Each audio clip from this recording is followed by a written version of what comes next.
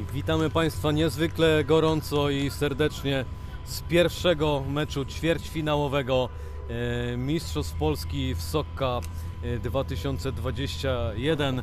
E, Naprzeciwko siebie stają zespoły z Torunia i z Łodzi e, Jakubskie. Toruń to ten zespół w fioletowych koszulkach, który Państwo już w tej chwili widzą. E, I ich rywale Lumumby, Łódź e, w strojach niebieskich. E, Bardzo ciekawe spotkanie dwóch zespołów, które nie miały jeszcze okazji e, zdobywać medali e, Mistrzostw Polski, a e, przecież wygrana w tym meczu którejkolwiek z tych drużyn e, daje im bardzo dużą szansę, że ten medal e, w końcu zdobyć się uda. E, Na początek oczywiście zaczniemy standardowo od składów obydwu drużyn. E, Może na początek Jakubskie, Sowa Tato, Tatu Toruń, e, które wystąpi w następującym zestawieniu.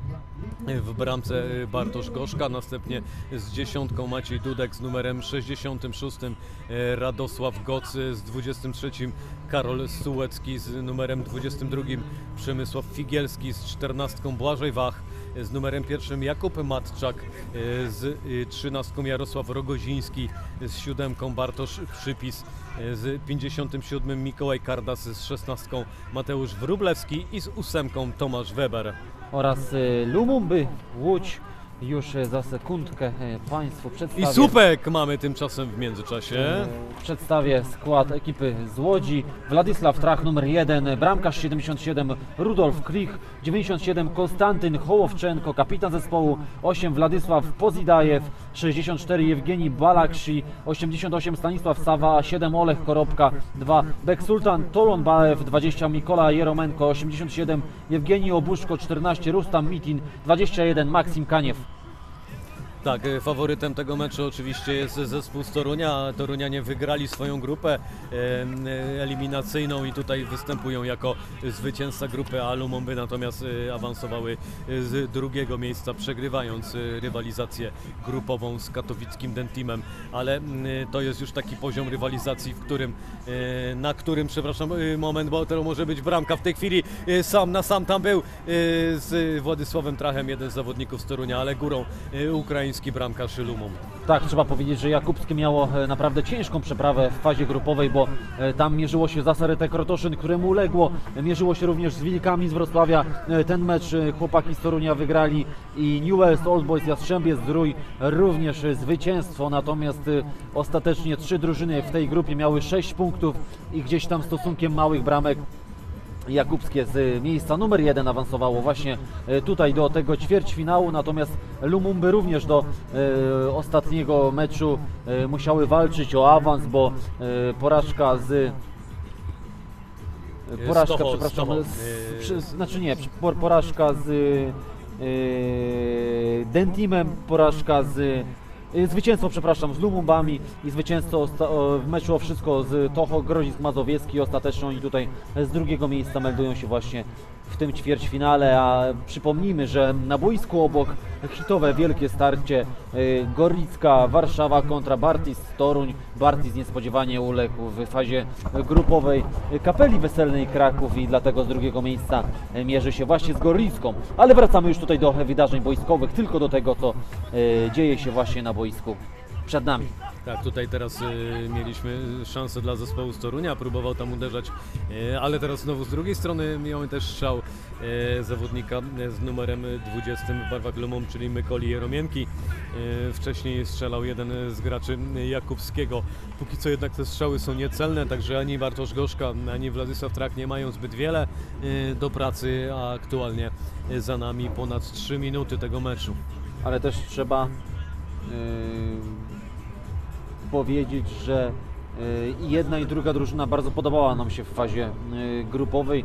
Lumumby tak naprawdę od początku mieliśmy okazję obserwować i yy, komentować ich spotkania i chłopaki naprawdę no, warci docenienia. Tutaj zwłaszcza właśnie wyróżniał się kapitan Hołowczenko, wyróżniał się bardzo strzelec trzech bramek w meczu z Toho Władysław Pozidajew. Yy, No na pewno Władysław Trach, mimo tam jednej yy, błędnej interwencji, też również pewny yy, punkt zespołu golkiper właśnie Lumumbu, więc Tak, Olech Koropko też kilkakrotnie więcej niż kilkakrotnie pojawiał się tutaj podczas naszego komentarza jako bardzo aktywny zawodnik. Natomiast w zespole z Torunia, no bramkarz tutaj przedstawiać też tego zawodnika nikomu nie trzeba, ale uwaga, bo no taka sytuacja na granicy faulu. Ostatecznie tego faulu nie ma, natomiast y, ja wspominałem oczywiście przed chwilą o e, Bartoszu Goszce, który swego czasu był y, golkiperem reprezentacji Polski Soka. Tak, właśnie chciałem e, to wspomnieć, że Bartek faktycznie... Pamiętasz w którym roku? Chyba w 2014 2014. y, y, y, przy okazji e, y, Igrzysk chciałem powiedzieć, już Olimpiada niedawno było, przy okazji Mistrzostw Europy w Czarnogórze, ale uwaga, e, bo w tej chwili zawodnicy z Ukrainy w ataku, ale ostatecznie Pozydajew, Wiesz. szkoda, że tak źle przyjął piłkę, bo gdyby troszkę lepiej przyjął, no to stanąłby oko w oko właśnie z e, Gorzką. No i byłaby to świetna okazja do tego, aby tutaj rozpocząć strzelanie w tym spotkaniu. Póki co 0 do 0 i trzeba też na pewno powiedzieć o tym, że e, która drużyna nie awansuje dalej, to będzie to pierwszy raz dla tych drużyn w fazie e, medalowej Mistrzostw Polski. Jakubskie było jeden, jedyny raz w fazie pucharowej e, turnieju ogólnopolskiego i to było rok temu, kiedy zajęli czwarte miejsce na Fortuna Pucharze Polski, natomiast na Mistrzostwach Polski wyżej jak mecz ćwierćfinałowy ich nie było. Trzeba jednak y, tutaj podkreślić, że to jest cały czas progres. Ta drużyna od wielu, wielu lat. Oj, teraz y, groźne uderzenia, ale Gorzka na posterunku. E, od wielu, wielu lat gra w ty- turniejach mistrzowskich, pucharowych.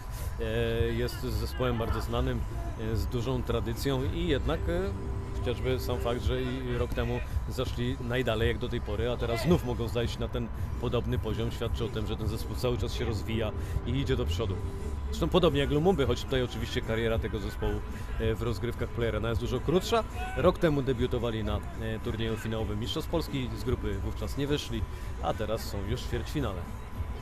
No tak, więc zobaczymy co będzie za rok, ale patrzymy też co będzie oczywiście e, dzisiaj. Teraz Maciej Dudek oko w oko z trachem przegrał ten pojedynek, Oj! natomiast teraz takie uderzenie zewnętrzną częścią stop, stopy jednego e, ze zawodników z Jakubskiego, ale poprzeczka ratuje tym razem Lumumby przed utratą pierwszej bramki w tym spotkaniu. Tak, to taka bardzo sy- sytuacyjna chwila, bo przypadkowo ta sytuacja wykreowana, ale e, było bardzo groźnie. Teraz y, tutaj sygnalizują rękę, ale sędzia uznał chyba, że była mocno przypadkowa i nie gwiznął. Pozidajew bardzo aktywny od początku tego spotkania. No na pewno jakbyśmy mieli wybierać jednego z zawodników właśnie w niebieskich koszulkach yy, i wyruszyć go za dzisiejszy turniej, to byłby chyba to właśnie zawodnik z numerem 8 na plecach. Tak, na początku wydawało się, że to Wołowczenko będzie tym e, liderem zespołu, ale ostatecznie e, to pozydaje, wydaje się być tutaj w lepszej dyspozycji. Teraz bliski straty piłki Maksym Kaniew. E, Pamiętamy, co zrobił e, Kaniewowi w meczu z Dentimem Ariel Mnochy. E, a Już na pewno jest wszystko w porządku z mm, błędnikiem zawodnika zespołu z Łodzi. Poprawił fryzurę, wszystko na pewno jest ok. Maciej Dudek już tutaj uruchomił na lewej stronie boiska. Tak tutaj z tymi numerami w barwach Jakubskiego też nie do końca jest wszystko tak jak na boisku niestety, więc możemy mieć czasem problem z e, odczytywaniem wszystkich, e, prawidłowo wszystkich zawodników.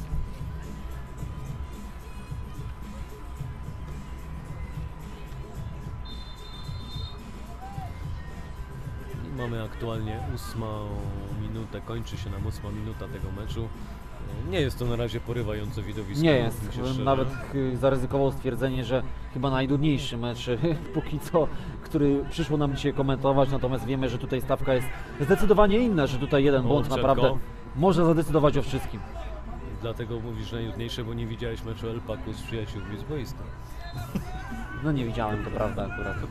Udałem się Tak, na tam zasłużony Tak, odpoczynek. tam, tam też temperatura nie była zbyt gorąca. Tu temperatura powinna być y, wysoka i powinno być gorąco, no ale może do tego dojdzie dopiero podczas turbodogrywki. Tymczasem oczywiście y, standardowo uderzał, uderzał y, Posedajew.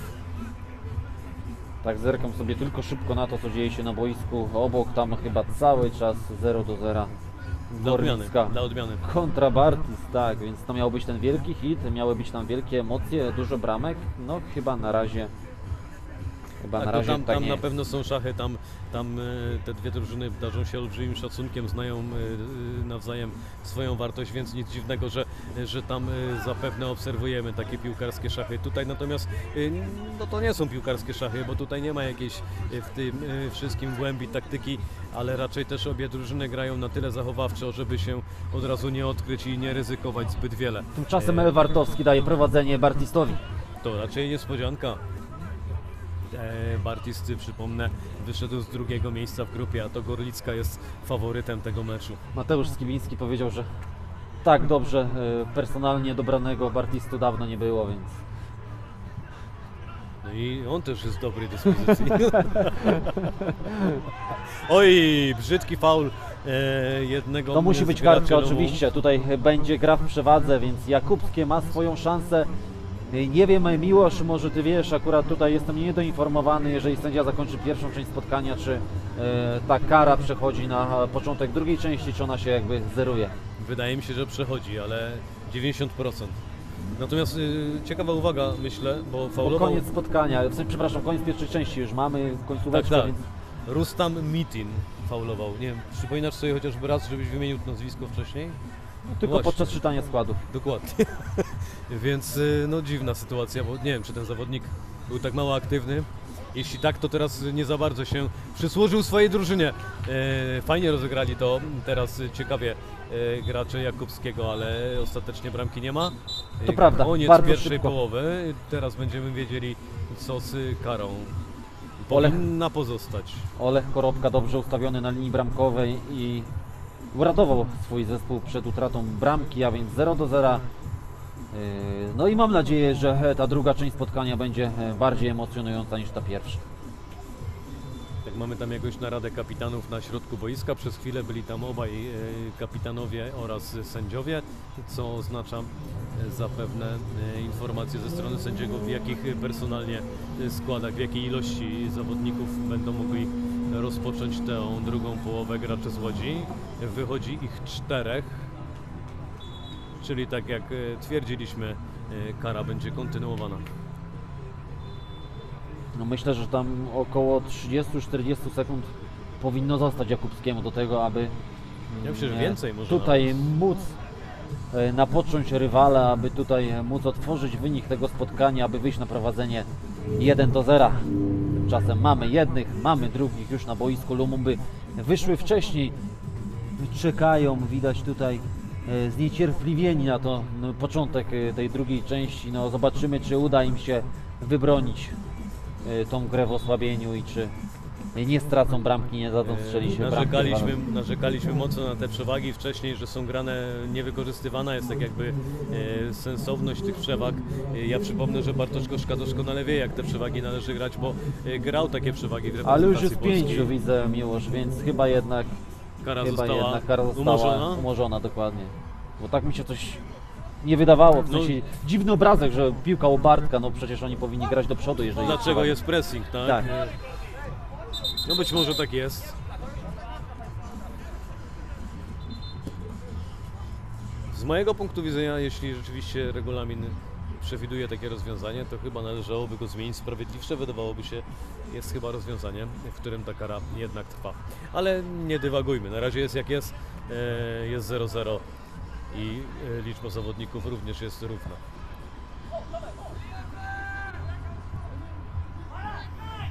To będzie za długie podanie. Nie dojdzie do tej piłki e, Przemysław Figielski.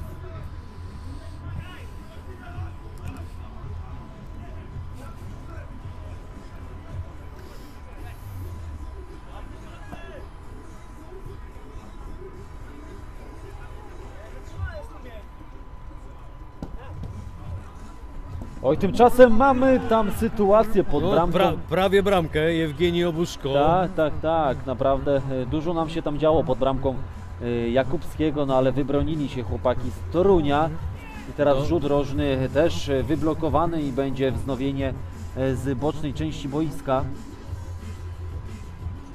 Tak, 0 do 0. Realizator potwierdził nam w tej chwili mm, tą sytuację pojawiającą się wynikiem. E, także tutaj zbliżamy się powolutku na razie e, do turbo dogrywki. Jeszcze oczywiście mnóstwo czasu i wiele się może tutaj wydarzyć, no ale przypominamy tylko i informujemy tych z Państwa, którzy być może tego nie wiedzą, że e, mecze Mistrzostw Polski, Pucharu Polski e, z Sokka kończone są w przypadku remisu turbodogrywką, podczas której w trakcie 5 minut gry e, co minutę boisko opuszcza jeden z zawodników, e, po jednym z zawodników obydwu drużyn. Gorzka.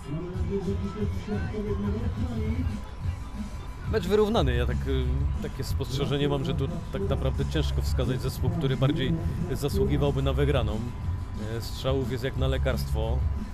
Chyba trochę może więcej zagrożenia było pod bramką Tracha jednak. E, czyli zgodnie z przewidywaniami to Jakubskie może tworzy tam nieco więcej e, atrakcji na polu karnym Lumu.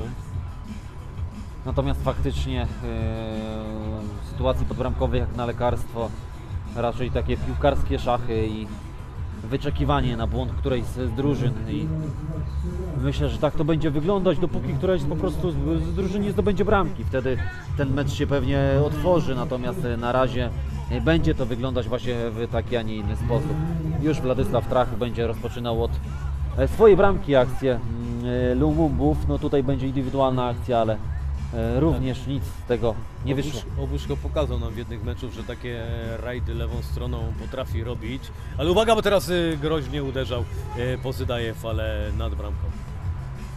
Tymczasem cały czas 1 do 0 e, dla Bartistu na boisku numer 2. No mimo wszystko, jeżeli tak by się skończyło, no to jest to lekka niespodzianka, co najmniej lekka niespodzianka, bo wiemy, że personalnie dzisiaj Bartist e, najlepiej usposobiony nie przyjechał. Ja nie ukrywam, y, będę mocno zaskoczony pozytywnie oczywiście postawą Bartisty, bo no, w tak okrojonym składzie, y, jeśli wejdą do strefy medalowej, to wielki szacunek dla tego zespołu. To prawda. Tymczasem e, rzut wolny, zobaczymy jak to Lumumby rozegrają. Czy będzie to bezpośrednie uderzenie na bramkę, czy będzie e, jakieś rozegranie schematyczne tego stałego fragmentu gry. Wydaje mi się, że raczej, raczej będzie e, zagranie do lepiej ustawionego kolegi. Obuszko i gol! No mają kawał uderzenia w nogach e, niektórzy z ukraińskich graczy Lumum. e, To w prawda. tym Jewgenij Obuszko, który wpisuje się już nie po raz pierwszy w trakcie tego turnieju na listę strzelców. No i co? I, i śmierdzi nam tutaj sensacją, no przynajmniej niespodzianką, ale Przynajmniej chyba jednak sensacją, bo Przynajmniej niespodzianką na pewno. awans ekipy z Łodzi. Przypominam, że oni w ubiegłym sezonie e, byli chyba debiutantem w ogóle w rozgrywkach łódzkich tak naprawdę. Tak, I, tak, tak, tak. I no to jest, y, jeśli, jeśli to się zakończy awansem do półfinału Mistrzostw Polski, to będzie kariera błyskawiczna. Ale zobacz, który raz już dzisiaj widzimy źle ustawiony mur, no bo tak naprawdę to musi być konsekwencją źle ustawionego tak, muru. tak. O i teraz Gorzka świetnie. Kilka bramek takich mieliśmy, właśnie mocne uderzenie po prostu i, i gdzieś obok muru, tam powinien stać bramkarz, no albo go nie ma, no albo mur jest źle ustawiony. A nie, to nie są za każdym razem y, zakrętasy Roberto Tak, Carlosa, żeby dokładnie. to wpadało, y, z, nie wiem, pod kątem 180 stopni. Y, Także tak jak mówisz, to są zazwyczaj błędy, no ale piłka nożna y, Soka to też jest gra błędów. y, Czy teraz ten błąd popełnią Łodzianie? Niekoniecznie nie popełniają go. I wypchnęli, można powiedzieć, Jakubskie z własnej połowy. No 5 minutek do końca e, tego spotkania, mniej więcej 5 minutek. No tutaj Jakubskie musi zaryzykować, no na razie nie widzę e, tego ryzyka, no ale tutaj muszą e, wprowadzić albo lotnego bramkarza, albo Gorzka musi zacząć grać po prostu wyżej. Tak, inaczej no, tej przewagi, mm, znaczy nie zdołają tego zniwelować, bo, bo nie mają sytuacji praktycznie, ogóle nie tworzą. Oni nic, nie y, stworzyli tak. w ciągu tych 15 minut dogodnej sytuacji, dobrej sytuacji do tego, aby Tracha zaskoczyć. Oczywiście były jakieś strzały, natomiast to nie było nic stuprocentowego, więc no tylko i wyłącznie grą w przewadze są w stanie tutaj zniwelować tą różnicę. Teraz tam była okazja, więc znakomita, ale y, nie ma ostatecznie bramki. Idzie y, Posydajew sam na sam, ale jakoś zgubił tą piłkę, zostawił ją za sobą. Jeszcze Hołowczenko ją odbiera do Posydajewa. Posydajew będzie uderzał chyba z dystansu, ale nie, do y, Hołowczenki i gol! Nie, piłka odbiła się od poprzeczki i wychodzi y, w pole, więc było bardzo blisko. To prawda. Mieliśmy sytuację z dwóch stron. Jakubski miało stuprocentową sytuację, stuprocentową sytuację również miały Lumumby, ale cały czas 1 do 0, tymczasem na boisku numer 2 1 do 1. Gorlicka odrabiała, odrabiała, naciskała i w końcu wyrównała. E, Tutaj Jakubskie na razie nie potrafi tego dokonać, ale zauważ, że oni wciąż nie wycofują bramkarza. Ja wiem, że Bartek Gorzka to jest świetnie grający e, nogami zawodnik, ale oni nawet nie podchodzą, a Bartek, e, no teraz może świetnie, do prawej strony jest uderzenie, ale zablokowane. I znowu Gorzka. No myślę, że tutaj szybciej powinni z jednej na drugą poprzerzucać chłopaki z Torunia. No w końcu znajdą sobie tą lukę, w końcu e, znajdą sobie e, dogodną sytuację do tego, aby zdobyć bramkę.